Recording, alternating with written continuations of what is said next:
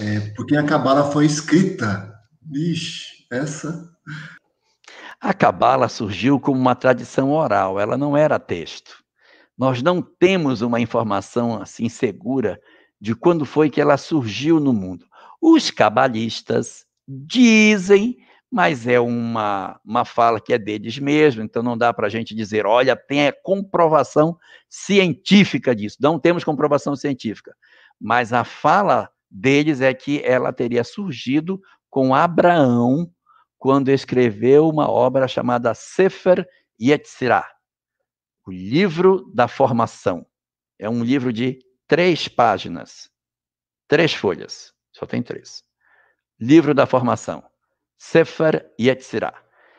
Só que é, a primeira obra, efetivamente, que a gente pode dizer, olha, essa obra é uma obra que, que existe e que tem um conteúdo, foi escrita e tal, é uma obra escrita na época eh, da destruição do Templo de Jerusalém, do ano 60 e pouco, o, ano, o templo foi destruído em 70, mas ela é um pouquinho antes.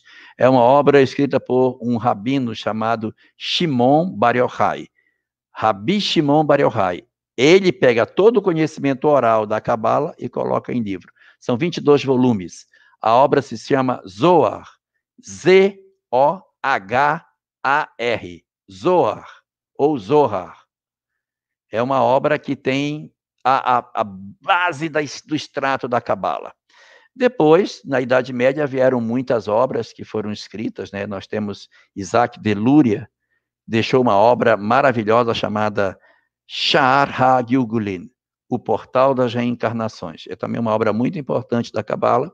E ele mesmo, Isaac de Lúria, dizia que ele era a reencarnação de Rabi Shimon Bar Yochai. Então ele dizia: Eu sou a reencarnação de Rabi Shimon, e essa obra é a parte 2 dos 22 volumes que Rabi Shimon escreveu lá atrás. E o Zorra levou 13 anos, né? Dizem, né? Na, na 13 caverna. anos dentro, dentro de uma caverna. Ele escreveu dentro de uma caverna e saía luz dentro da caverna. E um detalhe: enquanto ele escreveu, o profeta Elias visitava ele na caverna e revisava o texto. E aí há uma crença dentro do judaísmo que quando você estuda mesmo Cabala de verdade, Elias comparece para ajudar com você, ajudar você. É, é voz corrente que Elias ele gosta de sentar com quem estuda muito a Cabala. Além de estar nas circuncisões, né? Porque é outro trabalho. É, além de estar nas circuncisões. Veja que isso é judaísmo. E aí você tem imortalidade da alma, você tem mediunidade, tem uma série de princípios espíritas aí colocados por dentro disso. E interessante que logo no início do Zorra, eles citam que o Cabala voltaria por volta de 1840, não é? É, está na introdução do Zorra. A Cabala vai ser esquecida, mas por volta da década de 1840, o conhecimento da Cabala vai voltar ao mundo. E aí foi o que aconteceu com a chegada de Hydesville e depois os, a codificação kardeciana no século, na década seguinte. Legal, né? Muito legal, muito interessante.